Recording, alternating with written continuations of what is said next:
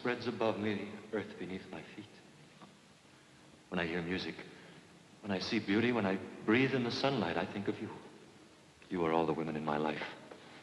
You are the sister I never had, the mother I have almost forgotten, the wife I have always dreamed of.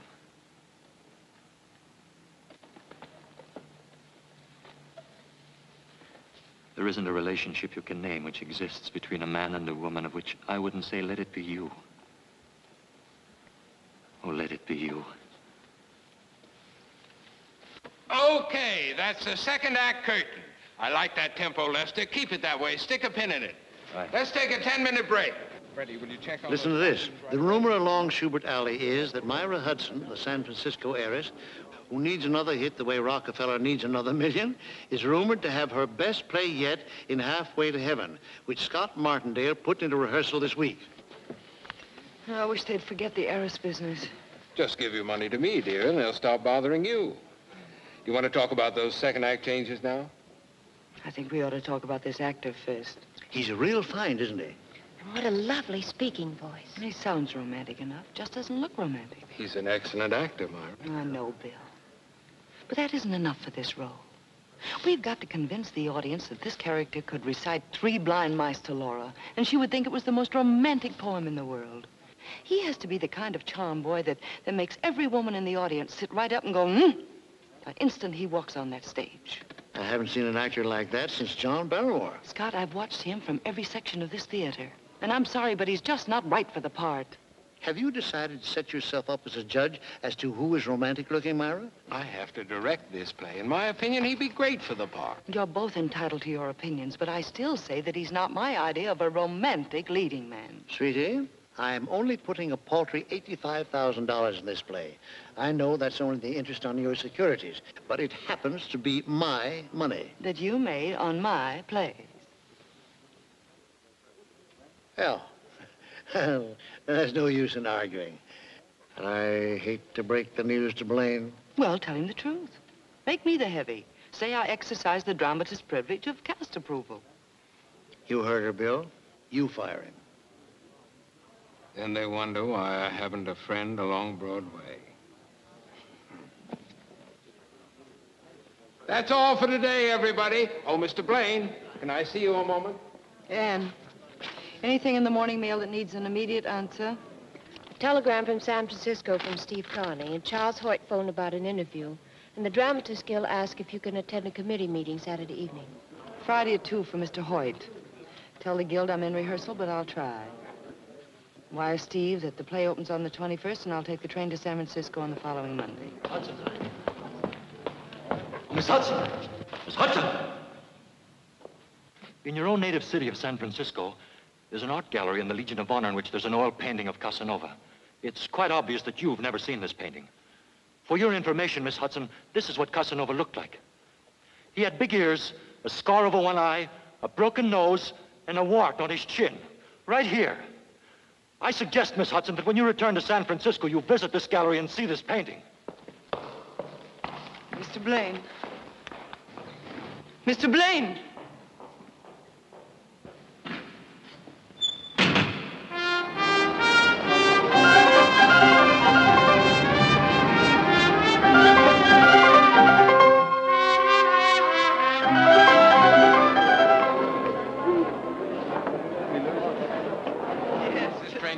San Francisco? It's a through car.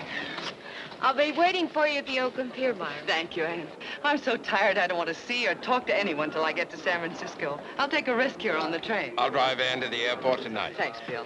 I'm like Mara. I'd rather ride the train. Have a wonderful trip. I will. And if you have any spare time between here and Chicago, write me another play. Oh, sure, sure. I'll have it done by Cleveland. Goodbye. Bye.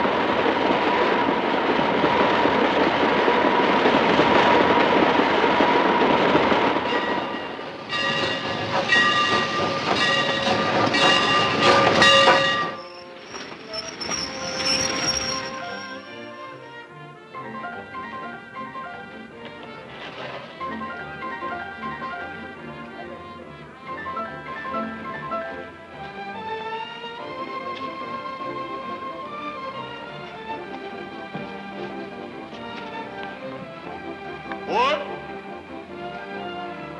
What?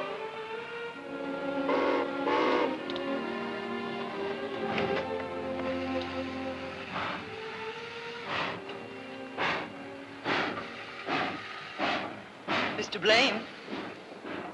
Oh, Mr. Blaine. Oh. Hello, Miss Hudson it's quite a coincidence you're getting on the train at Buffalo. Oh, I got on the train in New York, Miss Hudson. As a matter of fact, I saw you embark. You did? I saw the whole procession. Candy, books, flowers. Oh, now look. I thought perhaps you'd come down to say goodbye to me. And then I remembered you'd done that about a month ago. I tried to reach you several times about a month ago. Oh, did you? Yes. I- Excuse me, sir. Sorry. Now that you're here, won't you come in for a drink? All right. Shall I ring for the porter? Yes, please. Sit down. What are you reading? Time out for crime.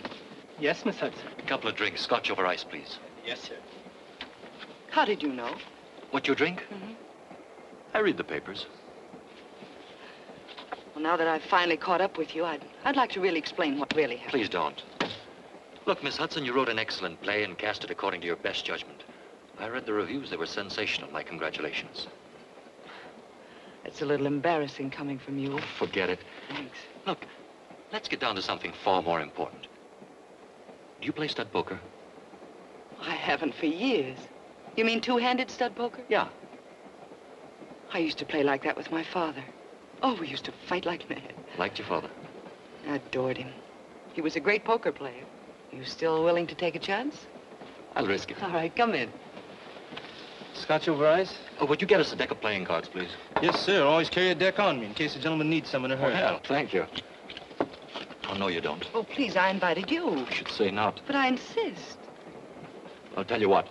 Let's play the match game. The what game? The match game, don't you know it? I'm afraid I never heard of it. All right, I'll teach it to you. Excuse me. Do you have any book matches? Yes, right here. Thank you. Now, this is how the game goes. Here are three matches for you. Let me have your hand. Three for you, Mm-hmm. and three for me. Now, put both of your hands behind your back like this. Yes. Now, put any number of matches. Zero, one, two, or three in one hand. Close it into a fist. Got it. And swing it out in front of you like this. Now, you guess how many matches there are in both our hands combined. In both? Yes. Let's see, um, Come on. Four. Now it's my turn to guess, and I say three. Now turn your hand over like this. Four, I won. Yeah. Are you sure you haven't played this game before? no, I'm positive. Thank you. Thank you, sir. Would you like me to close the door? No, thank you. Yes, sir. And now for a fast game of poker. We'll need some chips. You shuffle the cards. We'll use the matches for chips. It's four for you. For me. For you. And for me. Don't you have one match too many? I'm sorry. Miss Hudson, I'm entitled to a cut. Sorry. Cut.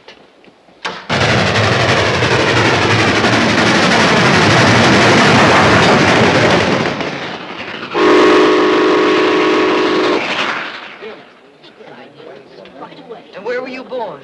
Near Pittsburgh. My father was a coal miner. I served a stretch underground, too, as a kid. I had to. Since then, I've traveled through Pennsylvania only at night. I don't recognize the country in the daylight.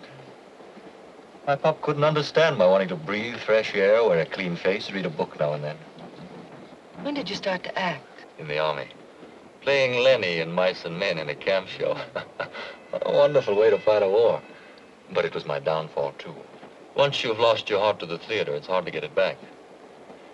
Besides, I won't take it back. I'm stubborn. I like people who make up their minds and then stick to it, whatever the odds. You're a very good actor, too. You know, it wasn't my lack of faith in your ability as an actor that made me... Please. It's been such a delightful breakfast, Miss Hudson. Let's keep it that way. Shall we play the match game? Certainly not. We'll be in Chicago soon. I'm going to show you a part of Chicago you never dreamed existed. Sports, the theater, the Roman arena, all rolled into one. Can we see all of that in four hours? We can see it in five minutes where I'm going to take you. Let's go. Thanks. Miss Hudson, you'll want to put your Chicago lipstick on. I'll wait for you in the lounge car. Fine, I'll meet you there in ten minutes. Right.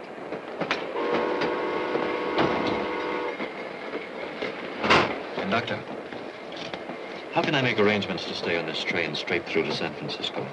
My ticket's only good to Chicago. When I pull into the station, I'll check to see if there's space available on the next Pullman. It connects with the California Zephyr. I'd appreciate that. Yes, sir.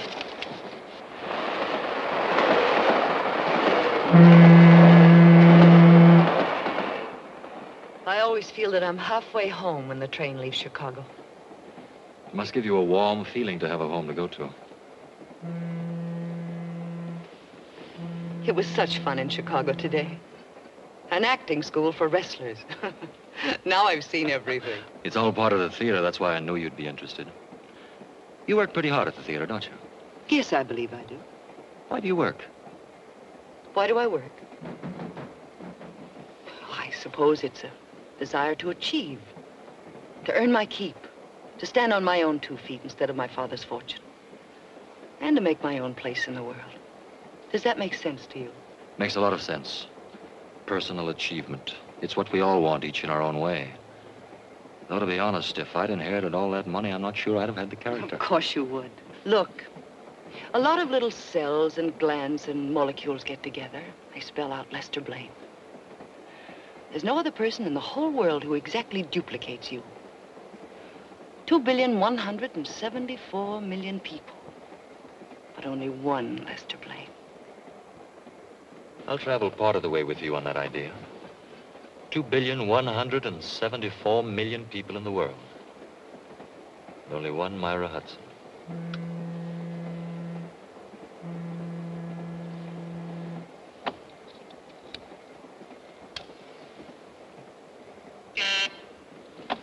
Excuse me. Your table for two in the dining car is ready, Mr. Blaine. Thank you. Shall we, Myra? The skies are painted with a thousand sparks. They are all fire, and every one doth shine. But there's but one in all doth hold his place. Julius Caesar, third act, scene two. Roger. I bet here's one you don't know. Burn this night with torches. And know my hearts, I hope well of tomorrow. Antony. Right. And tomorrow you'll be in San Francisco. Oh, you'll love my San Francisco.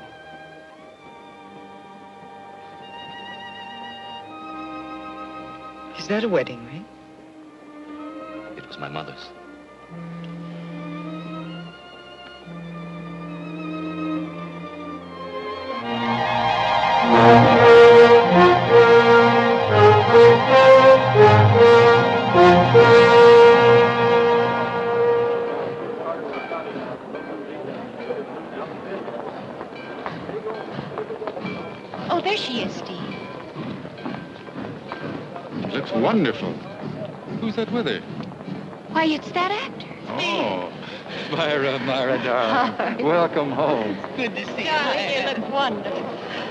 You remember Lester? Oh, hello, Hello, Mr. Anne.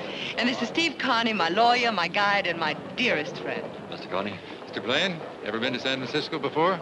Oh, very briefly. I came through with a camp show during the war. Oh, it's going to be such fun showing you San Francisco. How about dining and dancing tonight? Tonight? Well, aren't you tired from your trip, Myra? Oh, not at all. Where shall we pick you up? I'm not sure where I'm going to stay. Well, uh, let's say uh, the Fairmont at 9 o'clock, huh? That'll be fine. Good.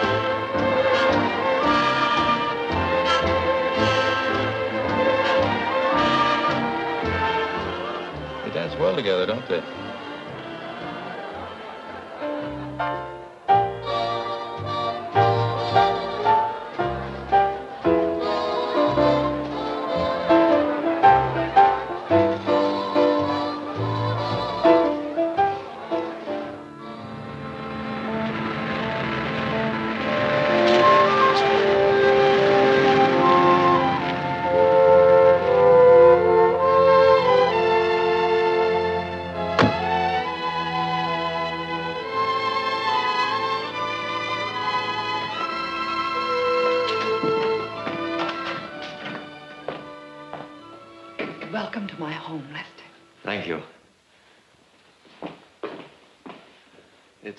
Cozy home.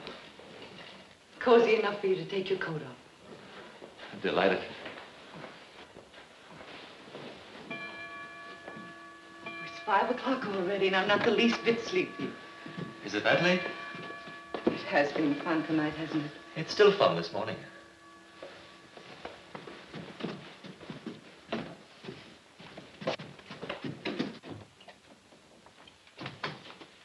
This is where I work. Where your plays are born. Plays are born out of everything you've ever seen and all the men and women you've ever known. This is where I put them on paper. Would you like a drink? Yes, Scotch, orange juice, milk? whatever you drink. Milk, then. What's this? A guided missile? No, that's my dictating machine. I've never seen one like it before. I had it built specially. I like to wander around when I dictate. I'll show you something. See this? It's a microphone. There are four others hidden around the room. There's the master switch over there. I turn it on. All the microphones are alive automatically. When I start to talk, the disc records. And when I stop, it stops. That's very ingenious. Skull. Skull. Why don't you try it yourself? Come on, walk around the room. Say something.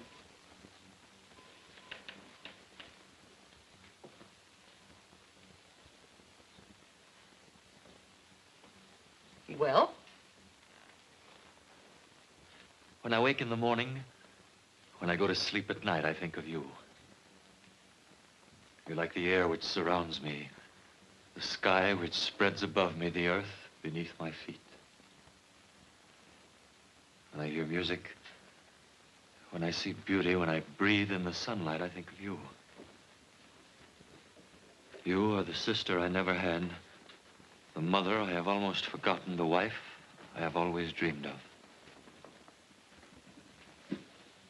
There isn't a relationship you can name which exists between a man and a woman of which I wouldn't say, let it be you. Let it be you. it's very flattering to be quoted.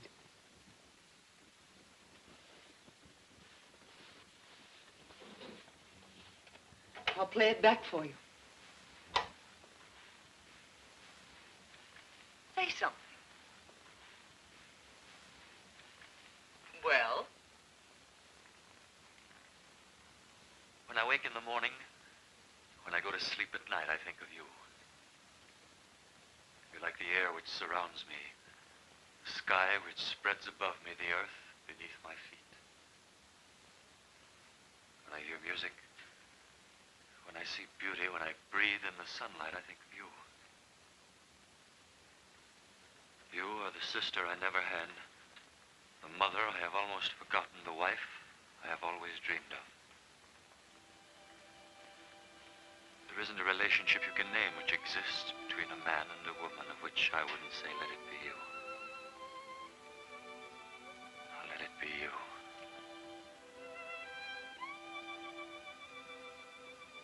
it's very flattering to be quoted.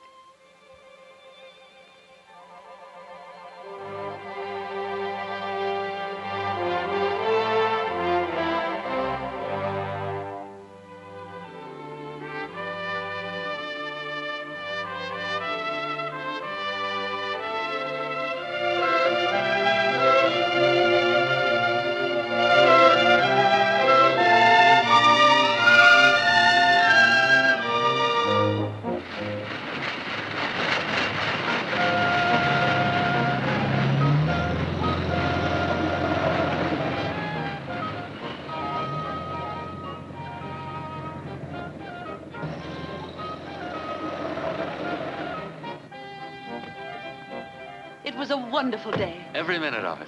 Dinner's at seven. Don't be late, darling. I'll be ahead of time.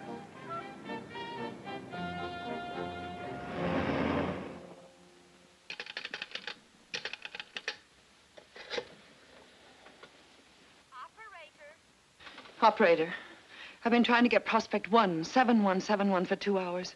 Will you please check and make sure the phone isn't out of order? One moment, please. Thank you.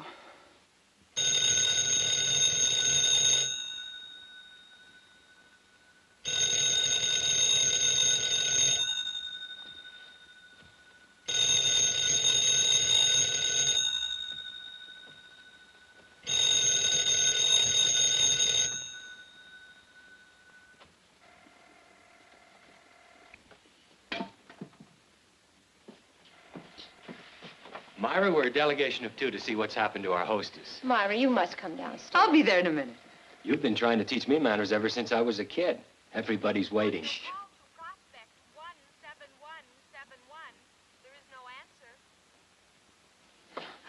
Something must have happened to him. Well, maybe the guy got his dates mixed. You know, He sometimes... knew I was giving this party just for him.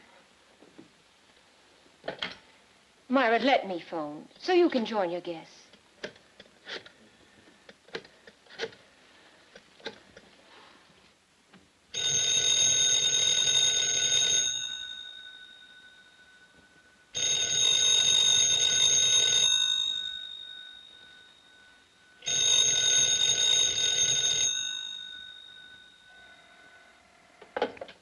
Maybe he misunderstood the time. Oh, he'd have called. He calls every night.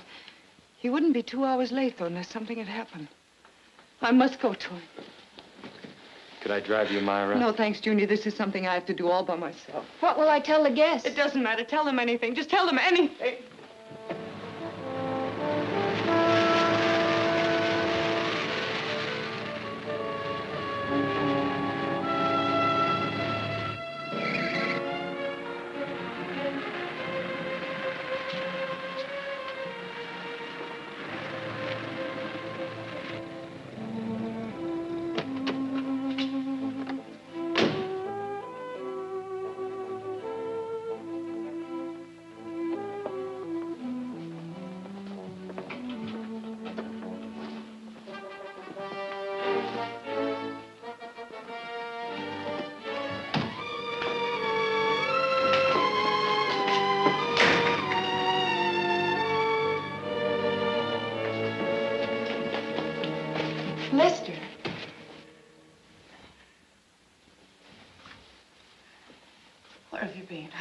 Calling and calling. Why haven't you answered?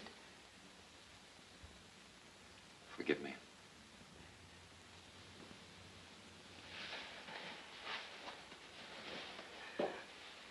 Where are you going? I have no place in your life, Myra. No proper place. And you were leaving?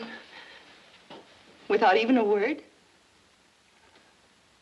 I don't belong to your world. You have so much, I have nothing.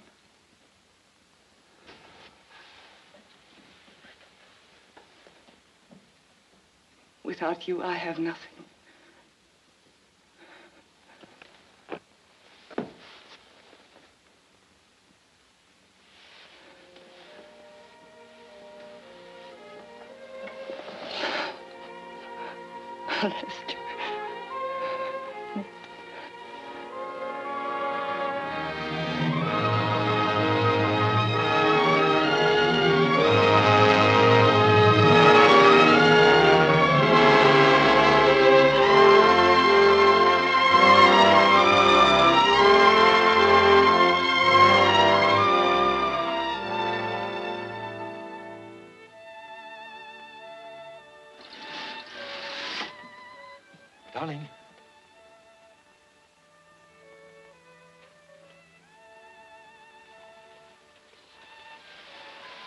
Good morning.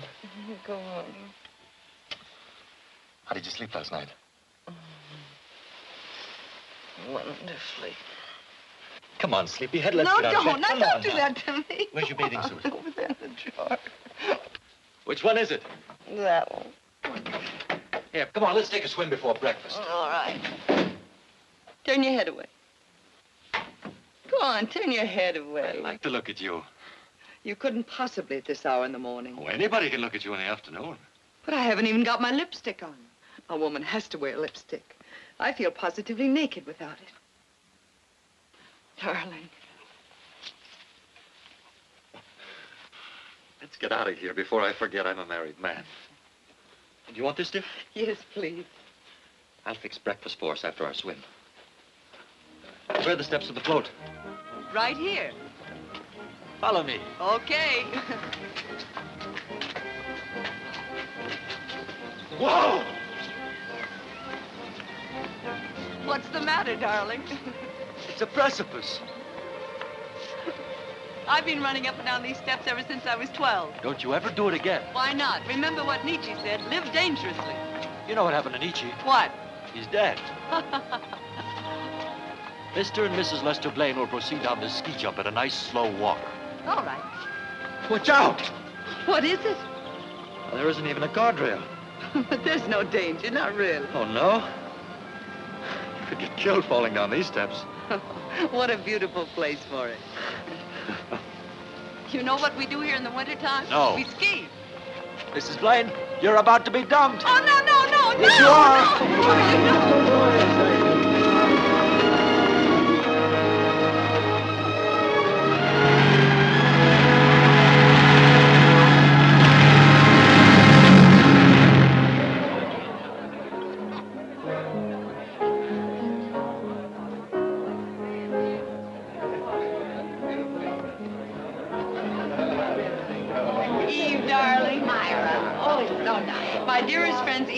George Ralston. Hello, Lester.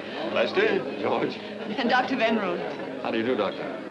Looks like you married a good, healthy specimen, Myron. Oh, darling, I'm so happy for you. I hope you play bridge.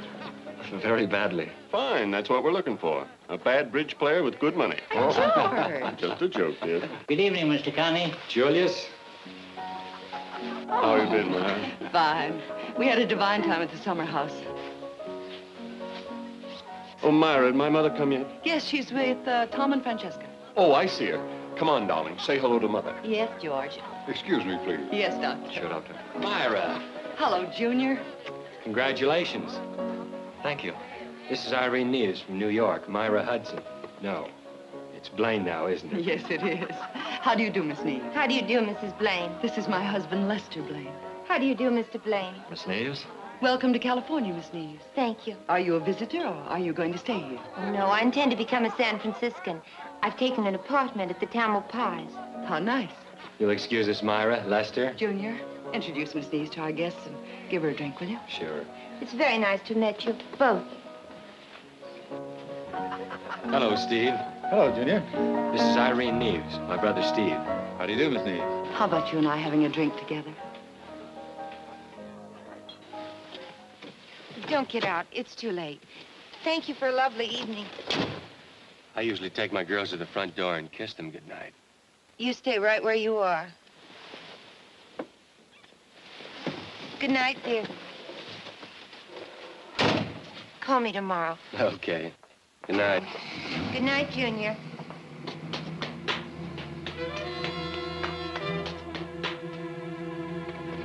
Come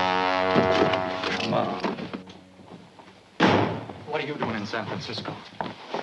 An old friend of mine married a San Francisco girl. Here, I'll show you. It was in all the New York papers. Good picture, both of them, isn't it? Don't be cute. I thought I'd come out here to see how you were getting along. How long have you been here? A week, and take your hands off me. Where did you meet Kearney? At his office. You see, I thought I might need a lawyer. Your wife's lawyer from choice. Steve's my wife's lawyer. Yes. But Junior is more impressionable. What have you said to impress him? You said you were going to Chicago for a job. What have you said to impress him? You mean if I told him why a certain woman lent you 5000 Have you? Have you? Not yet. And I haven't told him about the house on Fire Island either. Or the night after New Year's.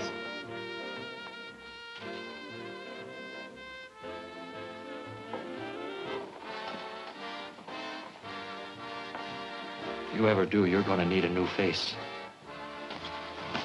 Remember that.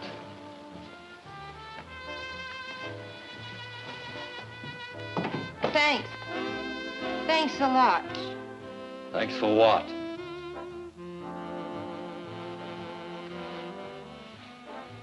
Still loving me.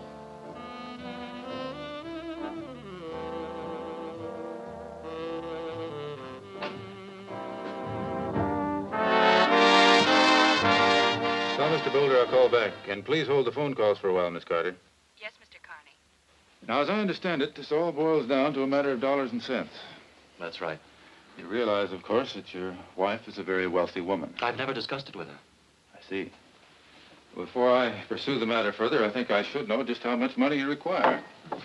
Naturally, I can't pretend to support Myra, but I ought to at least support myself. Oh, certainly, I had no intention of implying that I'm you're- sure of it. You're too good a friend of Myra's, and I hope eventually of mine. Excuse me, Lester. Yes? Steve, I've just added up Myra's new figure for the Hudson Foundation.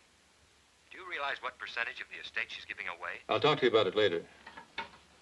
You were saying there's very little work for an actor here in San Francisco. Yes. Still, Myra comes first with me, so since her friends and her interests are here, this is where we'll have to live. I'm glad to hear you say that.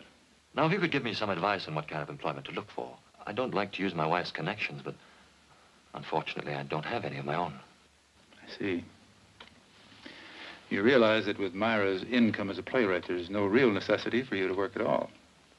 There's a very real necessity for my going to work, Steve. You see, I'm not the kind of a man who could live on his wife's money. I understand. Say, Steve, before I prepare the conveyance for Here's the a friend of yours. Oh, hello, Lester. Hello, Junior. Good to see you. Thank you. Social visit, or is Kearney and Kearney about to get a new client? Yes, No, he's purely right here. social. Telephone for you. A Miss Irene Neves. Oh, Junior. pardon me, Lester.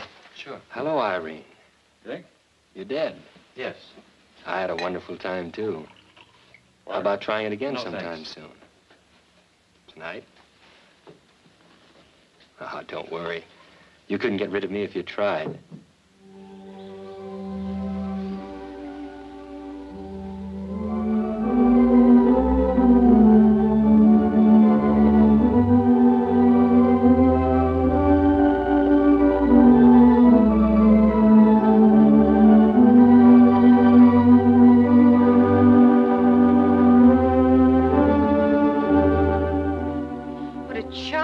Place you chose for a rendezvous. You're still running after young Kearney. What's the idea? You're hurting me I haven't started to hurt you unless you give me some straight answers. Why are you seeing Kearney? because you haven't called me in eight days, because the rent's due, and because I'd rather eat dinner than starve. I'll get you some money as soon as I can. I've got to watch my step. And what am I supposed to do while you watch it? Look at the walls and wait for the phone to ring? I'll tell you what you can do. You can help me. Junior likes you. He'd talk easy for somebody he liked. What do you want him to talk about? My wife is giving a lot of money away to a thing called the Hudson Hart Foundation. I want to know who gets how much and who handles the money. Well, why don't you turn over in bed some morning and ask her? Why don't we really start to work together the way we used to? Yes. Why don't we? You'll see what you can get out of Kearney. I'll turn him inside out.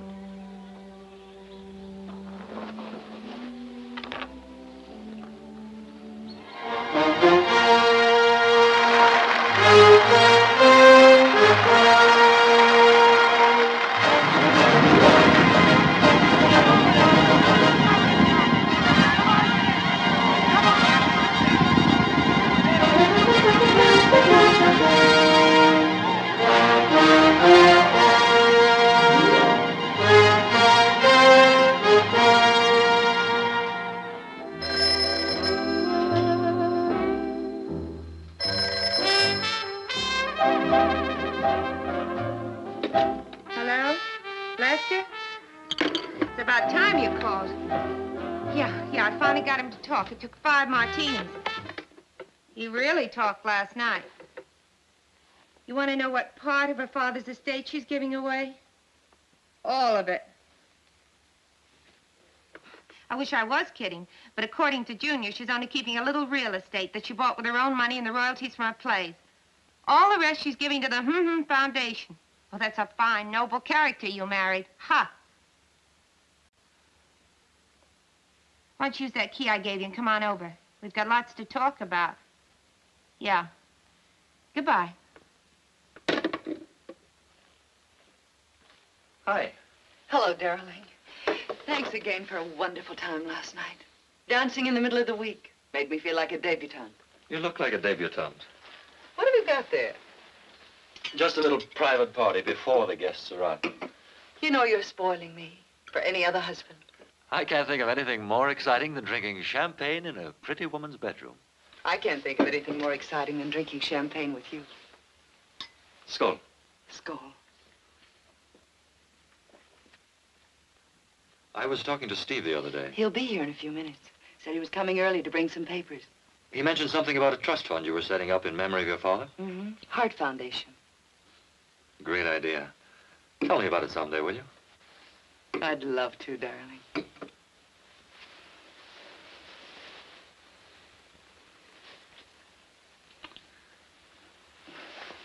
You're mussing me. Am I?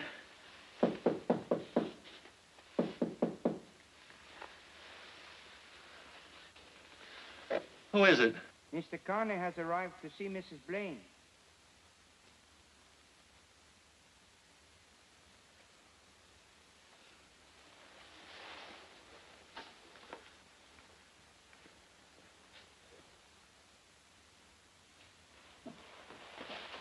Hello, Steve. You wanted to see me? Yes, Myra, dear. Happy birthday. But that isn't until Monday. Ah, but this coming Monday is the big birthday, as you know. The day you sign the trust agreement over to the foundation. No, don't tell me I have still more papers to look at. A simultaneous conveyance for Lester to put his name on. You're married now, you know. I know it. And I love it.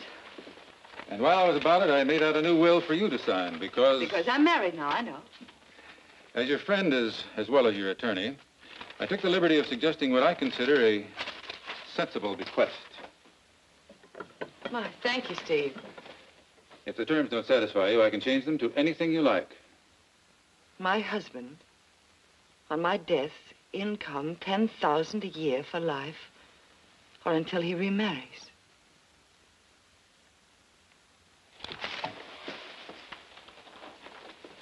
Steve, I wouldn't do a thing like that to someone I loved.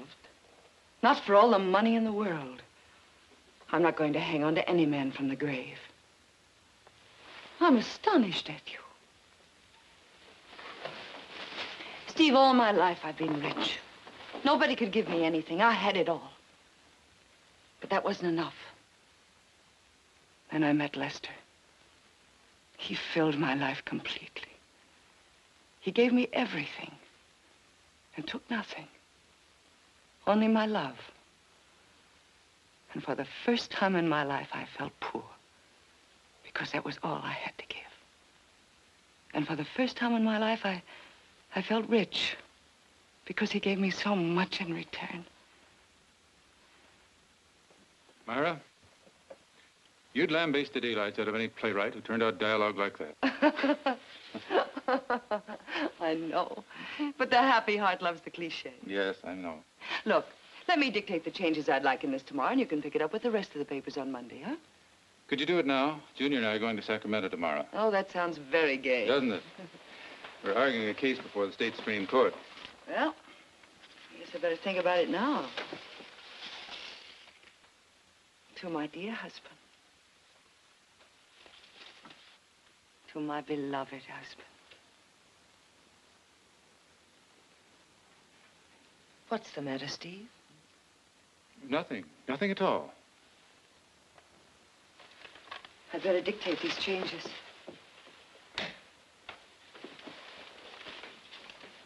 Paragraph one. I do hereby give and bequeath to my beloved husband, Lester Blaine, the income from all my play royalties. This income to be his in perpetuity and is not revocable on his remarriage after my death. Or during my lifetime, should our marriage be dissolved. I'm not going to hang on to him from this side of the grave either. All my guests are here. Steve, be an angel and run down and tell them I'll be there in ten minutes, will you? Certainly. Thanks. Paragraph two. Would you like the closed? Yes, please. Paragraph two. Upon my death, all my real estate and investment holdings are to go to my husband as a small return for the happiness he has given me. It was so nice of Mrs. Blaine to ask me here tonight. Have to see you alone. I don't see how. It's a pleasure to have you here, Miss Neves. It's very important. I'll be right down, Lester. Thank you, Steve. All right, Myra, study upstairs. I'll tell you when. Thank you. Junior? Yes, Irene? Good evening, Anne. I'll bid four spades. Pass. Six hearts. I'll just double six hearts. Redouble. Oh, no. Now we're in for it. Let's take a look at that dummy, partner.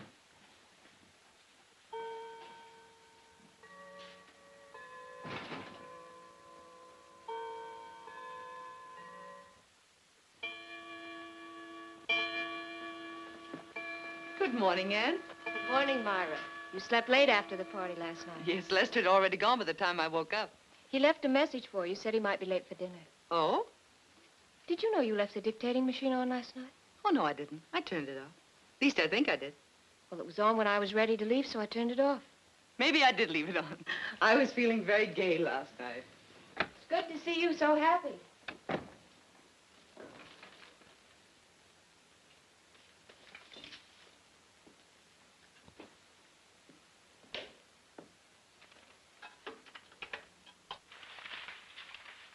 Paragraph one. I give and bequeath to my beloved husband, Lester Blaine, the income from all my play royalties. This income to be his in perpetuity and is not revocable on his remarriage after my death. Or during my lifetime, should our marriage be dissolved. I'm not going to hang on to him from this side of the grave either. Oh, my guests are here. Steve, be an angel and run down and tell them I'll be there in ten minutes, will you? Certainly. Thanks. Paragraph two. Like the doors closed? Yes, please. Paragraph two. Upon my death, all my real estate and investment holdings are to go to my husband as a small return for the happiness he has given me.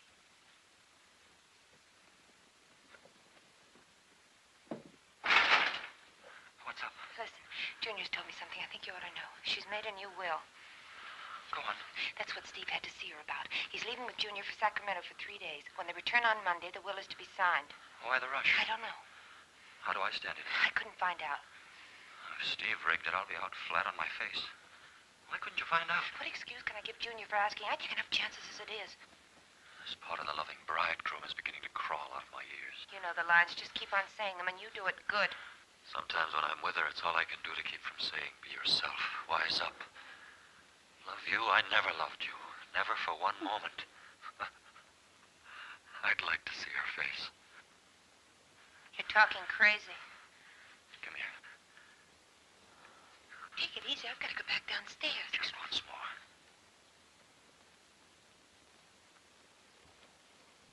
Oh, you smeared my lipstick. I've got to fix it before somebody comes. Where's a mirror? By the desk. Just to hold you like this, it's all I dream about. Lester, don't. I don't know how I stand it not being with you. What's this on the desk? It's the will. Last will and testament of Myra Hudson Blaine. Let's see where I come in. J.V. Hudson Foundation. Oh, that's not it. Here it is. To my husband, Lester Blaine, on my death. $10,000 a year. Is that all? Get a load of this. Until he remarries. And you thought you were playing it so smart. Not taking anything from her. No presents, no jewelry, no handouts, no nothing. Oh, if that dirty double-crossing dame thinks that she Listen, can... she can't sign it till Monday. Did Junior say that? Yes. She comes into the rest of her old man's money Monday. She can't dispose of it till it's hers. She doesn't sign the will until Monday, so what's the difference? Suppose she isn't able to sign it on Monday. What do you mean? Suppose something happened to her between now and Monday. Who'd get her money? Her husband. Lester Blaine. I'd get it all. Why not? Sure. Why not? Rich. You and me rich. I have a gun. Gun's no good. It'll have to look like an accident. Sure, sure, but that's easy. Not too easy. We've got three days. I've got to be smart. As her husband, I'd be suspected before she was called. Three days. We'll work it out. Kiss me. Kiss me. Hard. Crazy about you. I could break your bones. We'll have to be careful. You'd better give me the key back. What key? You know what key? The key to my apartment. Uh-uh. I might need it. Don't you dare. With Junior popping in and out, and your wife's house only a few blocks away. That's a break with Stephen Jr. being away. I gotta think fast. Gotta think of a nice, foolproof little accident. We'll work something out. I know a way. I know a way. I know a way. I know a way. I know a way. I know a way. I know a way. I know a way. I know a way. I know a way. I know a way. I know a way. I know a way. I know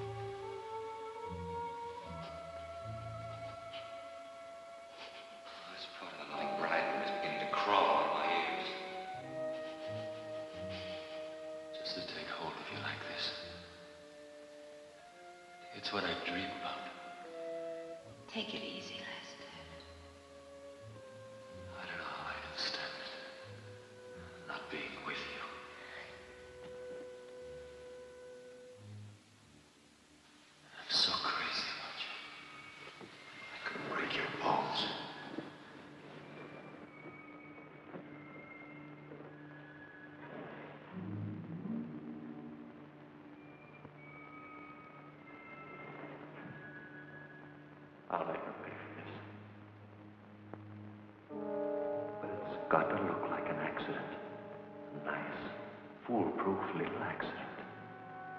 An accident. An accident. An accident. An accident. An accident. An accident.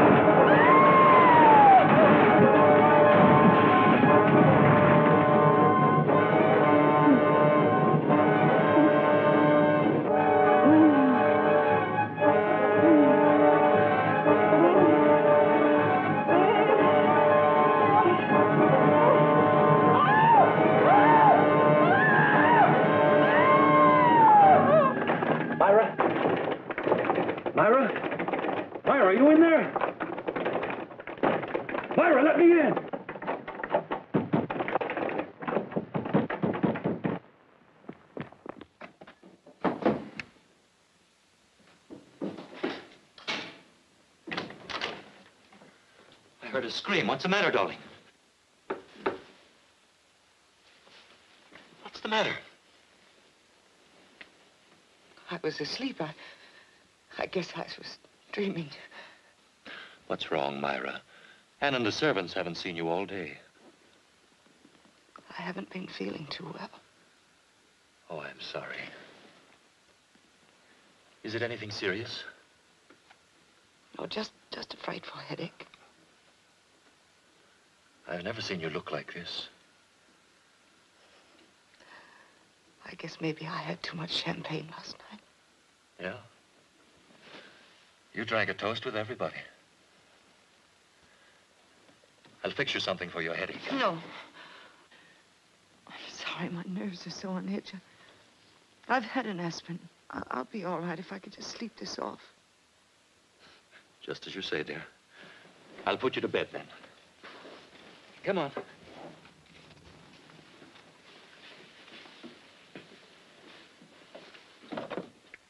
You'll feel better when you get under the covers.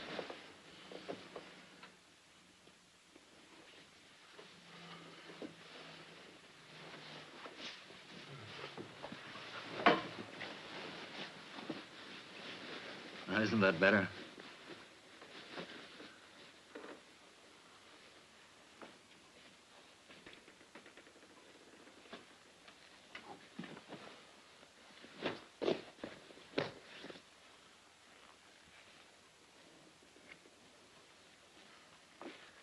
I'm going to see that you get a good night's rest.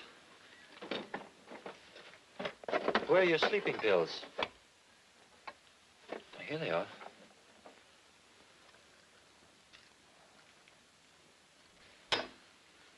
This will help you to sleep. Here. What's the matter, darling?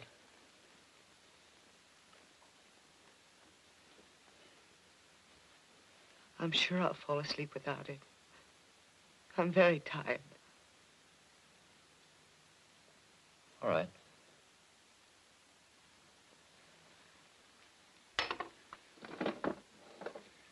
Don't fight it, dear. Take the pill if you can't sleep.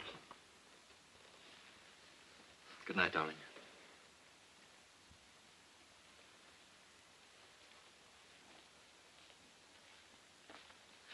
Oh, I'm going to bed early tonight, too, so... Would you like me to leave my door open in case you need me? No, thanks.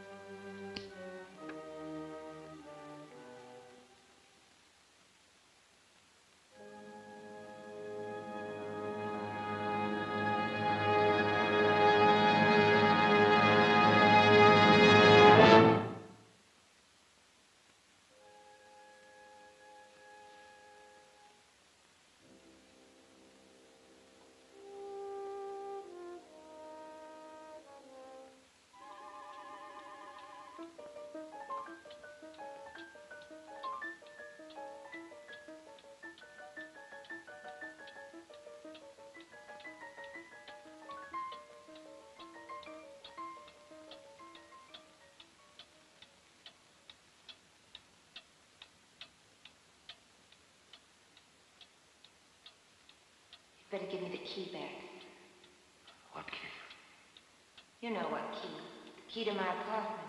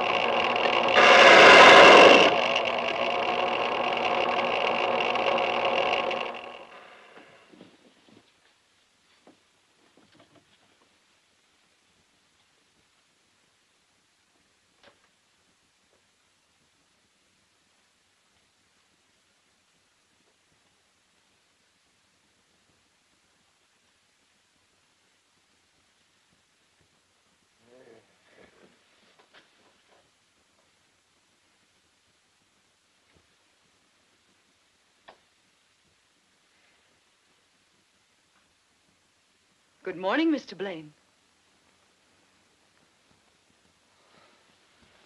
Good morning, Mrs. Blaine. You're up early. Didn't you sleep? Like a top. The last thing I remember was reaching for the pill, and I was fast asleep.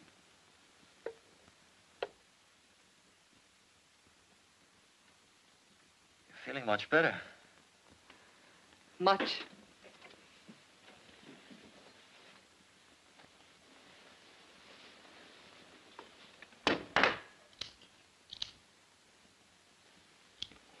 Service? I'm feeling a little apologetic this morning. What about? Yesterday, I'm afraid I was pretty bad-tempered. You weren't much like yourself. I've just been working too hard lately, trying to get my new play started. I'm sorry, Lester.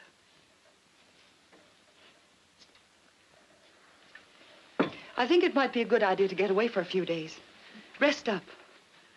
Maybe I could bring that nice-tempered Mrs. Blaine back. Go away? Where will you go?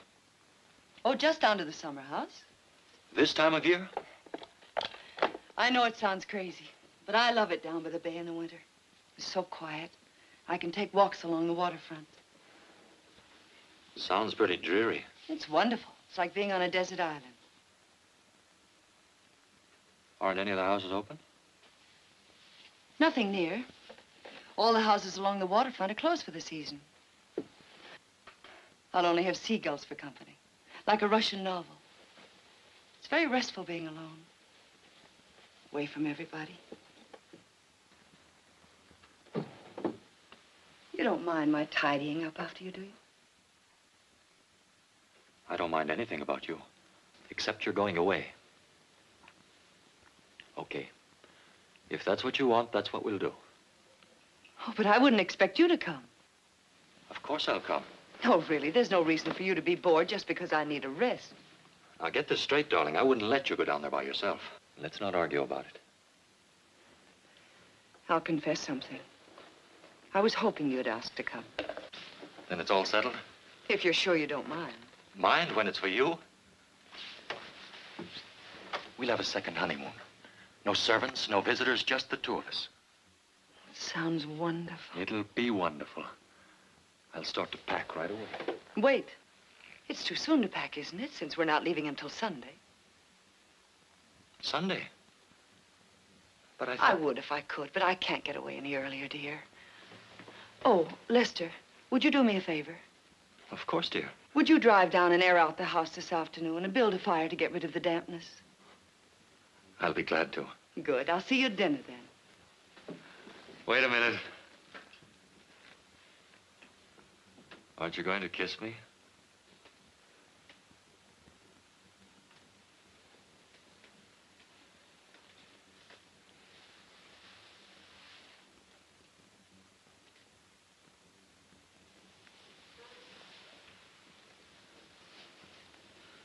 Why do you look at me like that? I was just wondering what I'd done to deserve you.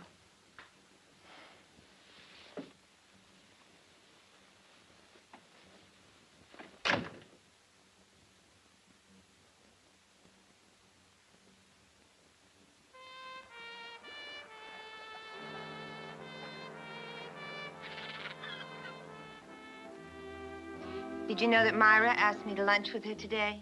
What did you tell her? That I had a date with a very exciting man. You don't suppose she could suspect anything, do you? Not the way I make love to her. Sunday's cutting it awfully thin, isn't it? Sure. This place is so perfect for an accident. Down those stairs. And it was her own idea to come here. Yes. Now, look, the first thing you do tomorrow morning is to call up her theater ticket agency. Get two seats for a couple of shows next week. Who for? We can't... For her. You better make it four seats and ask Junior and me. I'll get Junior to plan dinner first or a supper party afterwards. And then we'll all be broken-hearted together.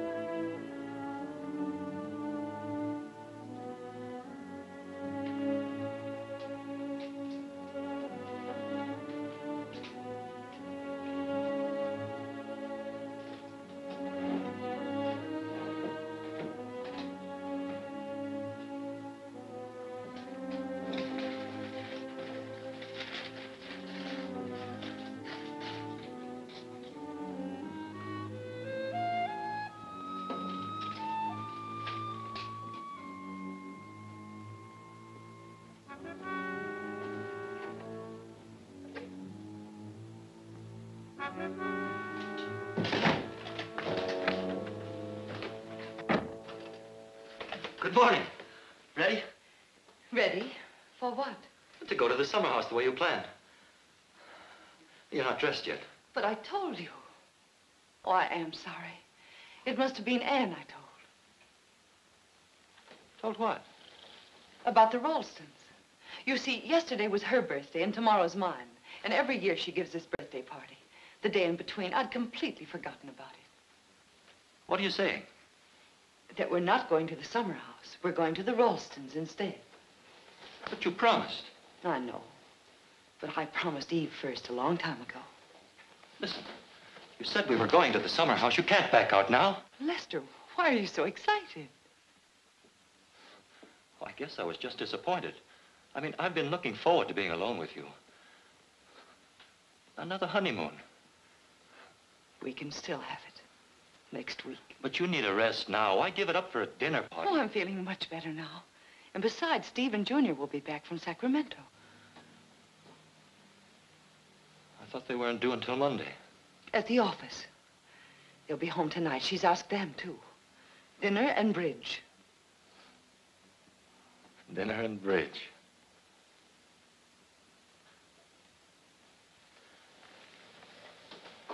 Might have told me sooner. Is it so important? No. I... I broke a golf date this afternoon. But you can still go out. It's early. Don't be cross. Oh, I'm not cross. It's sweet of you to be disappointed.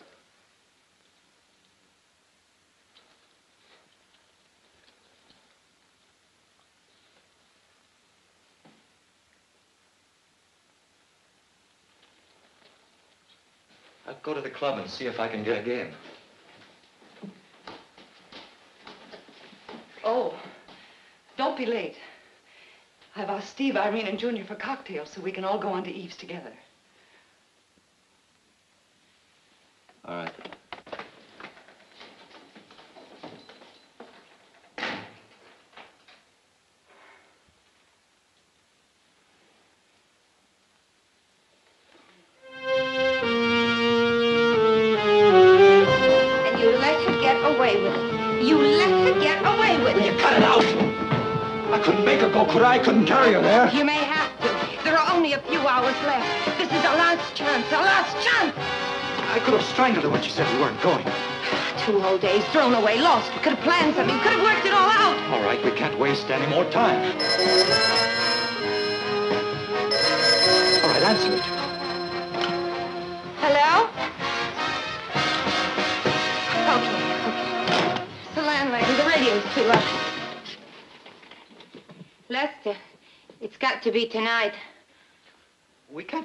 Chances lose everything. It's got to be an accident, a quick accident.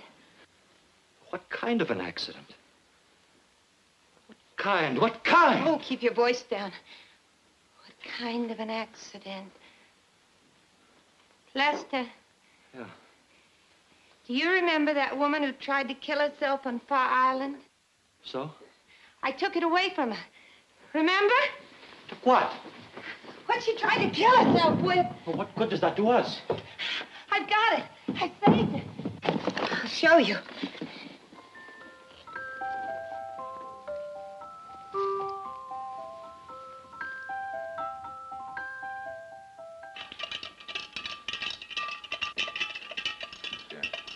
Refills, everybody? Yes, sir. Always rum for one more. Oh, Junior, please. Irene, I'm sorry I didn't know you were going to wear white tonight. If it's going to be embarrassing for you, I can run upstairs and change in a second. Oh, no. You look so lovely, Myra. Thank you. It's a wonderful martini. Thank you. The servants are off tonight. Excuse me while I get the hors d'oeuvres. Why don't we just stay here tonight? This is more fun than playing bridge. Bridge is a wonderful game. Occupies the mind, keeps you away from bad company, and uh, yields a small but steady income. Well, if I must play bridge, I hope Myra's my partner. Okay, partner? Myra's mind is someplace else tonight. Come to the party, dear. Oh, I'm so sorry. I hate to break this up, but we're due at the Ralstons. I'll get my coat right away.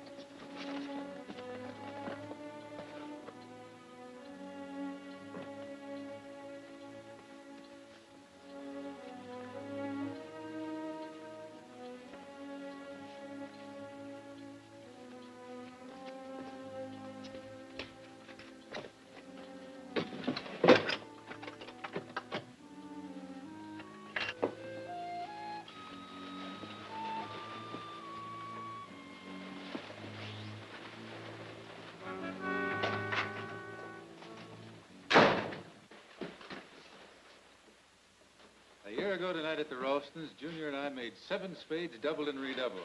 Ready, everybody? I wasn't You all right? I think so. I'll get some water, somebody. How did it happen? Oh, I tripped over my coat. Hale as a ghost. Oh, I'm still alive. Sit on this chair here. Oh, my ankle. Ah, which one is it? Let's have a look at it. This one. Careful. Let's take the shoe off.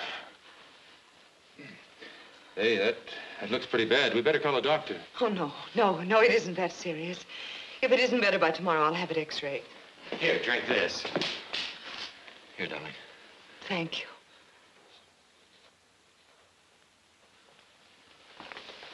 Try to stand on it. That's the best thing. No, I don't think you should. Exercise is good for it. Is it? Keeps the circulation going. All right, Irene. I'll try it. Yes. Lester, will you help me? Sure.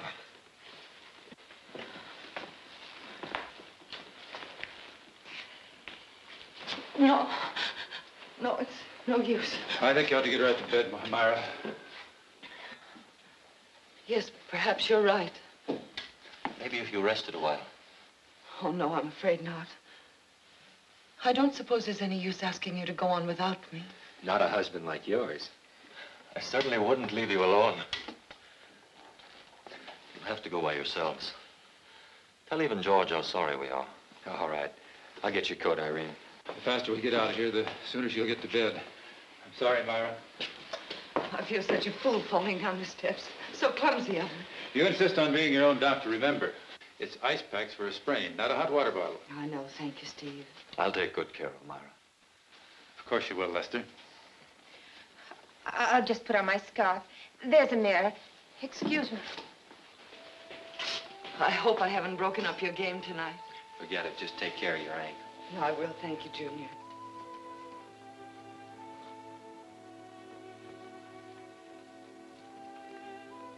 So we play cut in. But I still think you ought to call the doctor. Please tell Eve how sorry I am.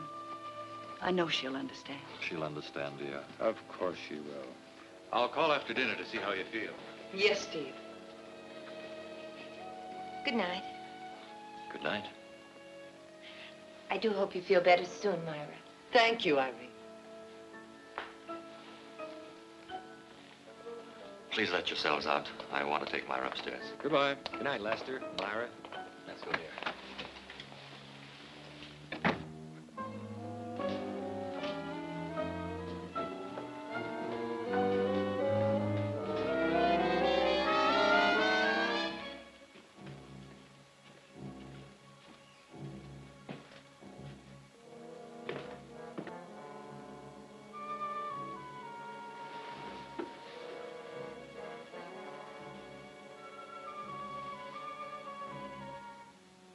I'm sorry to spoil your evening.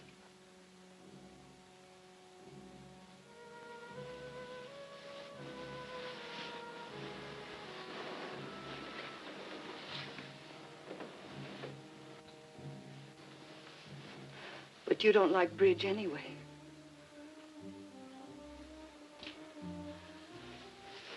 Would you get me a nice bag? And a cigarette, please.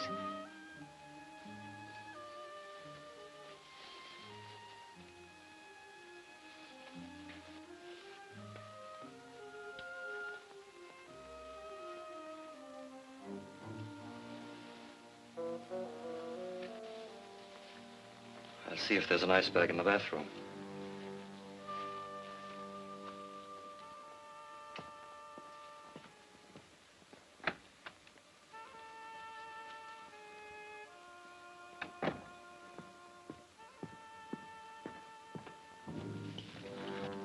Bag here. I'll have to go downstairs for one. Will you bring my coat? It's still on the stairs. Right. Ice bag, coat, and I'll pick up your shoe, too. Oh, and maybe a book. Would you like me to read to you after a while? Yes. I'd like that. I'd like that very much.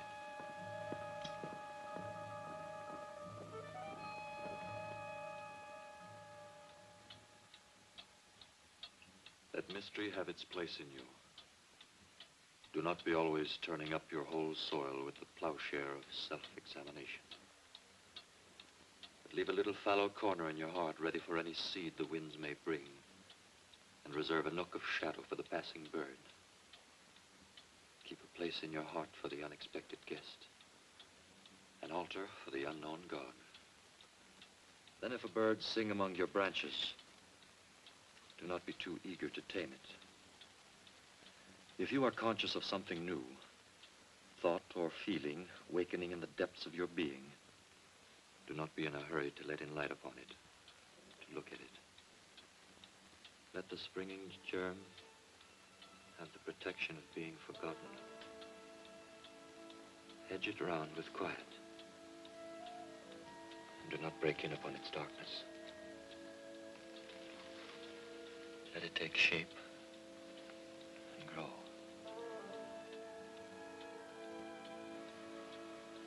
And not a word of your happiness to anyone. Darling,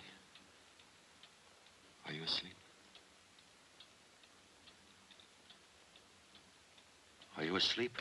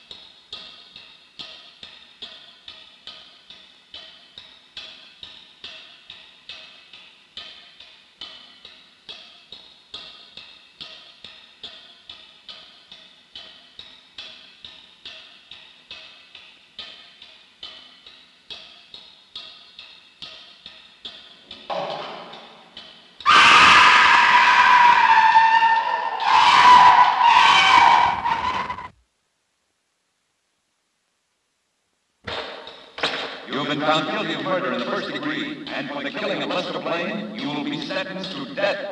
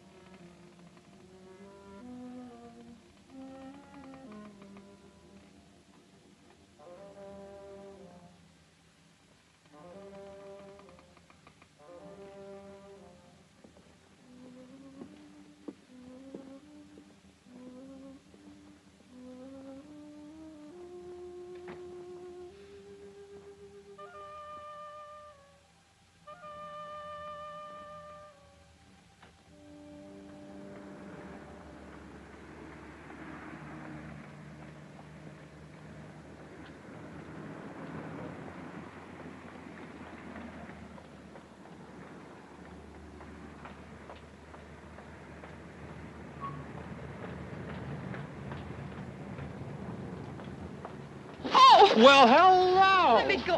How about buying you a little drink? Let me go, please. Oh, come on, I said let me go! Dames.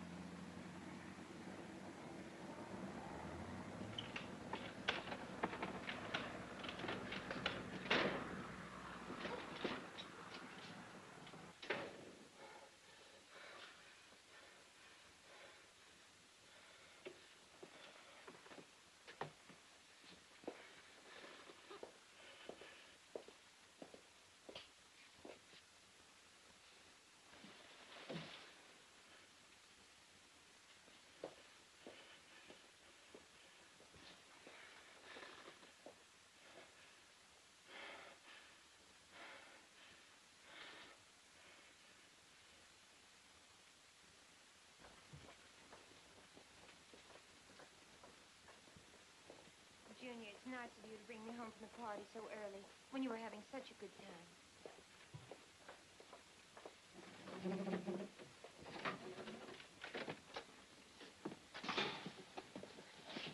Please, Junior, I have a headache. I'm going to take an aspirin and go to bed. I've run into some stiff competition in my time. It's the first time I ever tangled with an aspirin. Junior, I told you why I came home early. I know it's awfully good for a headache. Why don't you just relax and let yourself go? Not tonight, Junior, please. Don't send me away, not now. I don't want to, you know that. But this headache, that's why I left the party early. You're much too beautiful to have a headache.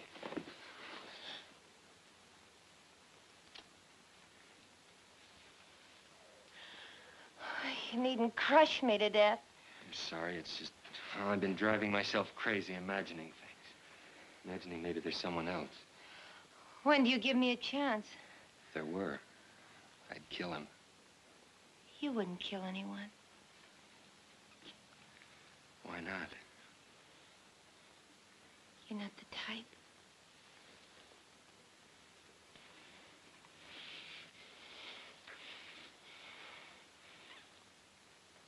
There now. Satisfied? The answer is no. But I'll go. Just one more? Good night, Junior. All right, but take care of yourself. See you tomorrow. Tomorrow.